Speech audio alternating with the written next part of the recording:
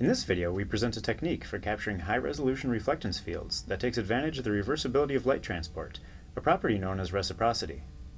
Our scanning setup, which we refer to as a dual light stage, consists of a gray diffuse sphere, a laser and mirror galvanometer, and a high-speed video camera with a fisheye lens.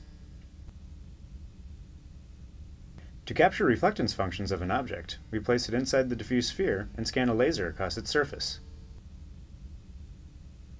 For each position of the laser, light is scattered off the object to the inside surface of the diffuse sphere. The video camera records the resulting pattern of scattered light.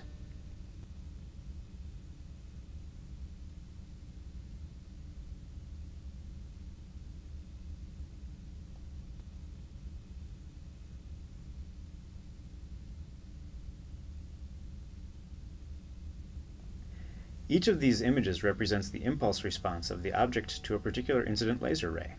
However, the reversibility of light transport implies that we can instead interpret each image as the reflectance function of a virtual camera pixel sampling along the reverse of the laser ray.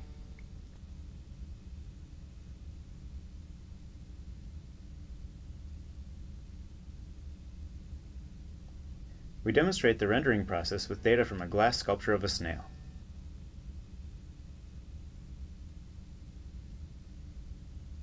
To render an image, we first take a lighting environment and transform it into the same geometric mapping as the reflectance function data. We then compute the dot product of the two images. This corresponds to the color of a virtual camera pixel. We then repeat the process for all reflectance functions, each one producing a pixel value in our final image.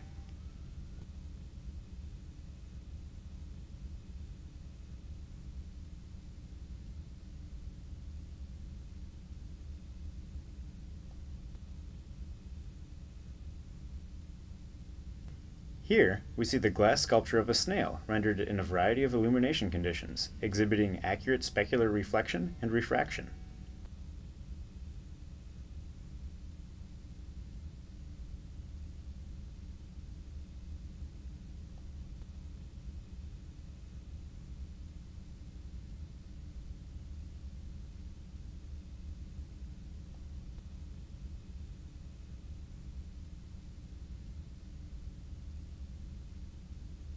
Here we see a concave metal bowl.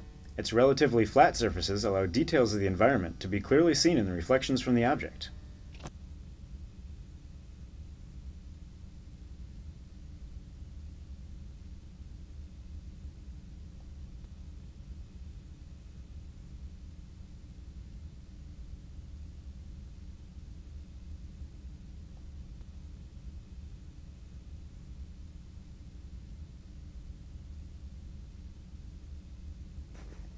Here we see a glass of wine resting on a gray platform.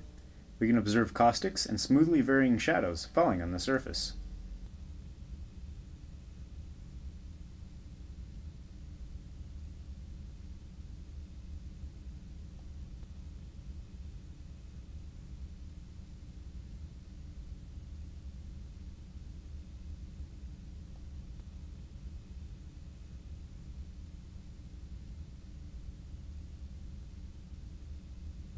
Here we see the glass of wine under varying directional illumination, allowing the caustics and smoothly varying sharp shadows to be observed more clearly.